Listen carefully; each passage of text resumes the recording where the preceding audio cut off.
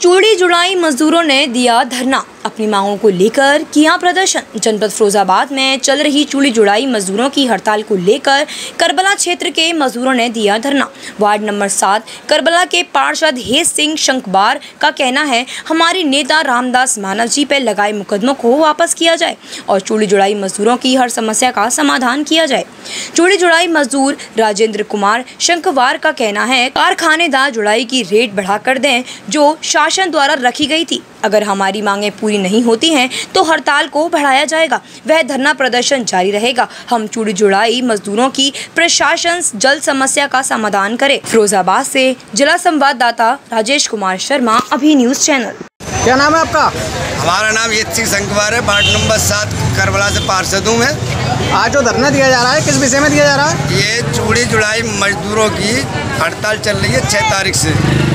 और उसमें कुछ गलत तत्व के लोगों ने फैसला किया जिन्होंने लेबर ऑफ़िस में जो हड़ताल का नोटिस दिया था हमारे माननीय रामदास मानव जी ने उनके द्वारा फैसला नहीं हुआ। और और उन पे जो केस लगाए गए हैं वो कोई वो कोई गुंडा नहीं है और ना उन्होंने कुछ किया है। उनके जब तक केस वापस नहीं होंगे ये अनशन धरना चल, चलता रहेगा। द्वारा जब तक चूड़ी चूड़ी जुड़ाई का एएलसी ऑफ़िस में बैठकर फैसला नहीं होगा तब तक कोई फैसला मान नहीं होगा मजदूरों को और न मजदूर अपने काम पर वापस आएँगे। आपकी जो नाराज़गी है किस पे मतलब प्रशासन पे है या कारखानेदारों पे? हमारी नाराज़गी कारखानेदार और प्रशासन पे है। इनकी हटधर्मी इतनी है कि कोई सीमा नहीं है इनकी। और क्या क्या समस्या है आपकी?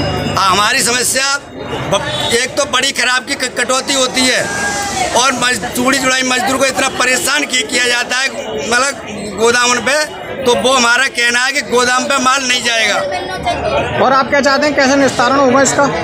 इसका निस्तारण रामदास मानव के द्वारा फैसला होगा और उनके केस वापसी होगी तभी होगा तभी मजदूर चूड़ी चुड़ाई मजदूर अपने काम पर जाएगा। हम काम नहीं करेंगे।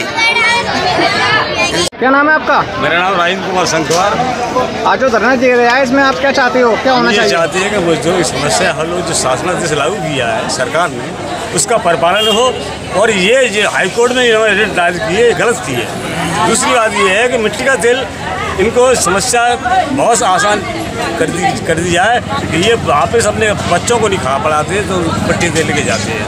इनकी मानते आर्थिक स्थिति बहुत ही ज़्यादा खरीदी हुई है। इसलिए मैं शासन से प्रशासन करता हूँ और, और सरकार से भी अनुरोध कर रहा हूँ कि ये समस्या इनकी जल्दी से जल्द कर रहे हैं और मानव की जितने भी केस लगे हुए हैं, उनके स्वतः ही वापस ले लिए जाएँ और हाई कोर्ट में रेट पाई है उसको रद्द किया जाए।